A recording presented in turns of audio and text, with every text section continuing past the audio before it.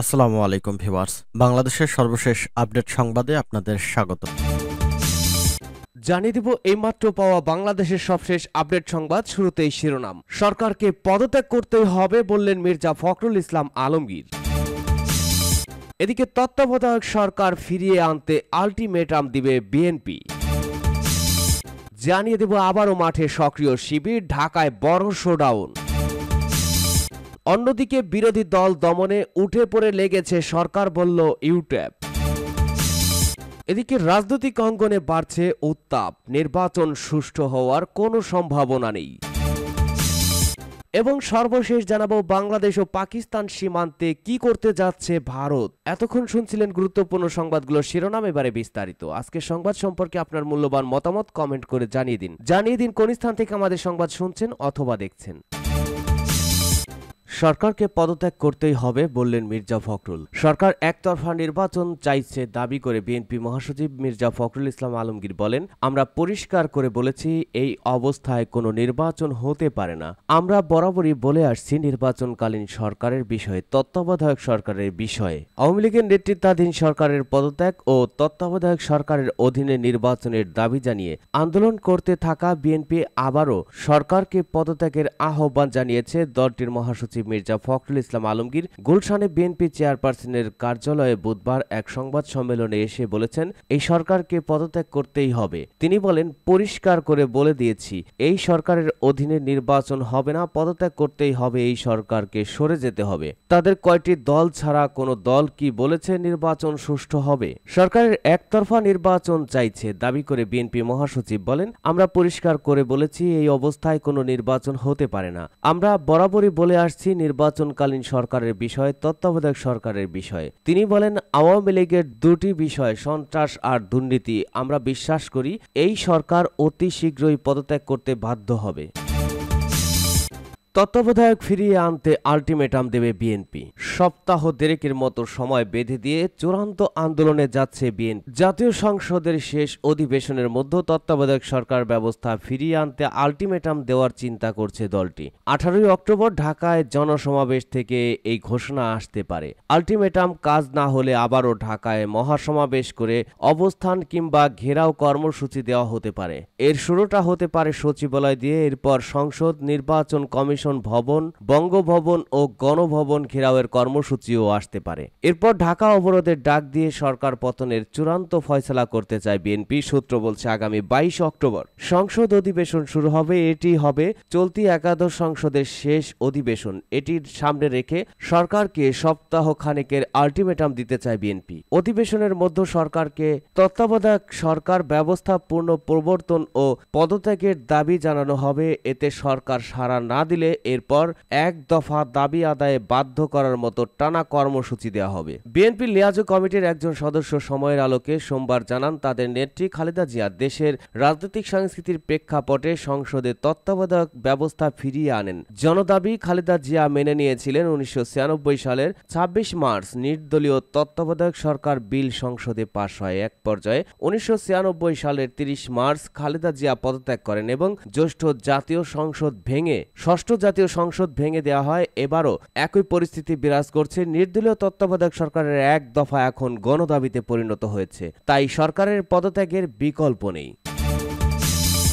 আবারও মাঠে সক্রিয় শিবির, ঢাকায় বড় শোডাউন। দীর্ঘদিন পর আবারও রাজধানীতে বিশাল শোডাউন করেছে জামায়াতে ইসলামীর ছাত্র সংগঠন, বাংলাদেশ ইসলামী ছাত্র শিবির। সকালে আওয়ামী লীগ সরকারের পদত্যাগ নির্দলীয় ও নিরপেক্ষ তত্ত্বাবধায়ক সরকার প্রতিষ্ঠা এবং নিরাপরাধ, নিরাপদ ক্যাম্পাস সহ সাত দফা দাবিতে মতিঝিলের শাপলা চত্বর এলাকায় অনুষ্ঠিত এই মিছিলে ছাত্র সংগঠনটির ব্যাপক নেতাকর্মীর উপস্থিতি দেখা গেছে। এ সময় ঘটনাস্থলে উপস্থিত থাকলেও অন্য দিনের মতো মিছিলে কোনো বাধা দিতে দেখা যায়নি পুলিশকে, বরং দাঁড়িয়ে মিছিল দেখতে দেখা গেছে পুলিশ সদস্যদের। যদিও মিছিল থেকে শিবির কর্মী সন্দেহে দশ জনকে গ্রেপ্তারের কথা জানিয়েছে পুলিশ, তবে শিবির বলছে শান্তিপূর্ণ মিছিল শেষে ফেরার পথে তাদের আটক করা হয়েছে। এর মধ্যে বেশ কয়েকজন পথচারী ও কর্মজীবীও রয়েছেন। বুধবার এগারোই অক্টোবর সকাল এগারোটায় শিবিরের কেন্দ্রীয় সভাপতি রাজিবুর রহমানের নেতৃত্বে বিক্ষোভ মিছিলটি রাজধানী রাজধানীর মতিঝিল শাপলা চত্বর থেকে শুরু হয়ে ইত্তেফাক মোড়ে গিয়ে সমাবেশে মিলিত হয়। সূত্র জানিয়েছে, নতুন করে সরকার বিরোধী আন্দোলনে সক্রিয় হচ্ছে শিবির। আজকের এই কর্মসূচির মাধ্যমে তারই সূচনা করল ছাত্র সংগঠনটি। শিবিরের সাথে এই আন্দোলনে একাধিক সরকার বিরোধী ইসলামী সংগঠনও অংশ নেবে বলেও গুঞ্জন রয়েছে। জানা গেছে, গত মাসের শেষ দিকে চরমনাই পীরের ছাত্র সংগঠন ইসলামী আন্দোলন বাংলাদেশ সহ তেরো ছাত্র সংগঠনের সাথে মতবিনিময় করে শিবির। তারা রাজপথে জীবন বাজি রাখার প্রত্যয় ব্যক্ত করেন, যদিও ওই বৈঠক ছাত্রলীগ নিয়ে আলাদা করে কর্মপরিকল্পনার সিদ্ধান্ত হয়। তবে ওই বৈঠক নিয়ে কেউ মুখ খুলছে না। বিরোধী দল দমনে উঠে পড়ে লেগেছে সরকার বলেছে ইউট্যাব। বিরোধী দল দমনে সরকার উঠে পড়ে লেগেছে বলে মন্তব্য করেছে বিশ্ববিদ্যালয় শিক্ষকদের সংগঠন university teachers association of Bangladesh UTAB. এছাড়া বিএনপির জাতীয় নির্বাহী কমিটির প্রচার সম্পাদক ও মিডিয়া সেলের সদস্য সচিব, সাবেক সংসদ সদস্য শহীদুদ্দিন চৌধুরী অ্যানিকে তার বাসভবন ঘেরাও। পরবর্তীতে থানায় তুলে নেওয়া এবং বিনা কারণে তার পরিবারের সদস্যদের সঙ্গে আইন শৃঙ্খলা রক্ষাকারী বাহিনীর খারাপ এবং অপেশাদার আচরণের ঘটনার তীব্র নিন্দা ও প্রতিবাদ জানিয়েছে সংগঠনটি। নির্বাচন সুষ্ঠু হওয়ার কোনো সম্ভাবনা নেই। রাজনৈতিক বিশ্লেষক ও স্থানীয় সরকার বিশেষজ্ঞ ডক্টর তোফায়েল আহমেদ বলেছেন, সুষ্ঠু নির্বাচন হওয়ার সম্ভাবনা আদৌ নেই। নির্বাচন হলেও আগের দুটো নির্বাচনের পুনরাবৃত্তি হবে। সাধারণ মানুষের সেখানে অংশগ্রহণ থাকবে না। মানব জমিনকে দেওয়া সাক্ষাৎকারে ডক্টর তোফায়েল আহমেদ বলেন, এখন যে রাজনৈতিক পরিস্থিতি, তাতে বড় ধরনের একটি বিভক্তির মধ্য দিয়ে এগুচ্ছি আমরা। যারা পনেরো বছর ধরে ক্ষমতায় আছেন, তাদের এই সংশোধিত সংবিধান যেটার সঙ্গে দেশের বেশিরভাগ মানুষ একমত নয়। সেই সংবিধানের আলোকে নির্বাচন করার জন্য সরকার বদ্ধপরিকর অপরদিকে প্রকৃতপক্ষে সংসদে যে বিরোধী দল থাকার কথা তারা সংসদে নেই।